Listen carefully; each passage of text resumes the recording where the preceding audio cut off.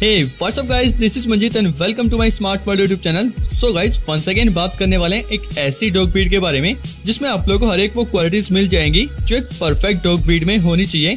जी हाँ गाइस आज हम बात करने वाले हैं जर्मन शेफर्ड के बारे में। सो गाइस ये जर्मन शेफर्ड पपीज सिर्फ़ मेल ही अवेलेबल हैं। फीमेल ऑलरेडी सेल हो चुकी हैं। और अगर इनके कोट के बारे में बात करें तो पपीज मीडियम कोट में हैं। वैसे मीडियम कोट के जर्मन शेफर्ड को मेंटेन रखना काफ़ी इजी होता है। अगर आप लोग लॉन्ग कोट के जर्मन शेफर्ड को परचेज करते हैं तो उनके आप लोगों को काफ़ी केयर करनी पड़ती है। वैसे पपीज काफ़ी एक्टिव हैं और क्वालिटी भी काफ़ी अच्छी है। वैसे ओनर स्पेशली बुल्ली कुत्ता का काम करते हैं। अगर आप लोग जर्मन शेफर्ड के अलावा बुल्ली कुत्ता पपीज परचेज करना चाहते हैं तो आप लोग उनसे कॉन्टेक्ट कर सकते हैं। उनके पास आप लोगों को हमेशा अच्छी से अच्छी क्वालिटी के बुल्ली कुत्ता पपीज मिल जाएँगे। वैसे दोनों काफ़ी अच्छी गार डॉग ब्रीड है, पर डिपेंड ये करता है कि आप लोगों को एक मस्टिफ डॉग ब्रीड पसंद है या फिर मीडियम टू लार्ज साइज़ की। जर्मन शेफर्ड की सेंस ऑफ़ स्मेल काफ़ी अच्छी होती है, और जब भी आप लोग बाहर से आओगे तो आप लोगों को हमेशा गेट पर मिलेंगे आप लोगों को वेलकम करने के लिए। और फ्रेंड्स अगर आप लोग जर्मन शेफर्ड को परचेज करें और आप लोग फ़र्स्ट टाइम ओनर्स हैं तो कुछ बातों का ख्याल ज़रूर रखें, जैसे कि एक तो आप लोग पपीज को दूध बिल्कुल भी ना दे क्योंकि पपीज को दूध डाइजेस्ट नहीं हो पाएगा उसकी वजह से उन्हें वोमिटिंग या लूज मोशन लग सकते हैं। और सेकंड चीज़ जर्मन शेफर्ड को आप लोग हमेशा स्लीपी फर्श पे ना रखें उन्हें वॉक पर लेके जाएँ और डेली उन्हें कुछ देर के लिए छत पर भी छोड़ सकते हैं।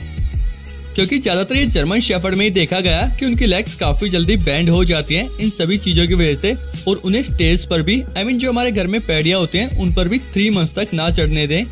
अगर आप लोग पपीज को छत पर लेके जा रहे हैं या ऊपर से नीचे ला रहे हैं तो प्लीज़ उन्हें गोद में ही लेके जाएँ। तो ये कुछ छोटी छोटी चीज़ें जो कुछ टाइम के लिए आप लोगों को ध्यान रखनी पड़ेगी। सो so इस पपीज की क्वालिटी तो आप लोग देख ही चुके हैं। ये जो आप लोग अभी देख रहे हैं, ये इन पपीज के मदर एंड फादर हैं। दोनों की क्वालिटी काफ़ी अच्छी है। और फ्रेंड्स अगर आप लोगों के माइंड में कोई भी क्वेश्चन या कोई भी डाउट है तो डायरेक्ट ओनर से कांटेक्ट करके आप लोग डिस्कस कर सकते हैं। नंबर मैंने उनका डिस्क्रिप्शन में डाल दिया है।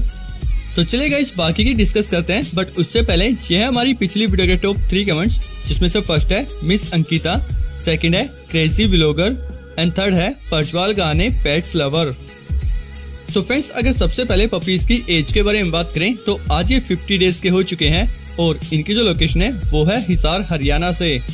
और हाँ फ्रेंड्स पपीज काफ़ी अच्छे एंगुलेशन में भी हैं। और अगर डिलीवरी के बारे में बात करें तो ओनर आप लोगों को काफ़ी सारे एरियाज़ में डिलीवरी प्रोवाइड करा देंगे एक्स्ट्रा चार्ज पर। या फिर अगर आप लोग चाहें तो ओनर के पास विज़िट करके भी परचेज कर सकते हैं। बट आप लोगों को बताना चाहूँगा कि ओनर एकदम ट्रस्टेड है। आप लोग इन्हें एडवांस पेमेंट भी कर सकते हो। तो फ्रेंड्स अगर प्राइसिंग के बारे में बात करें तो सभी पपीज मेल अवेलेबल हैं और काफ़ी अच्छे एंगुलेशन में है। तो ओनर ने जो इनके प्राइस की डिमांड की है, वो किया फिफ्टीन थाउज़ेंड रुपीज़ यानी पंद्रह हज़ार रूपए। प्राइस नेगोशियेबल है।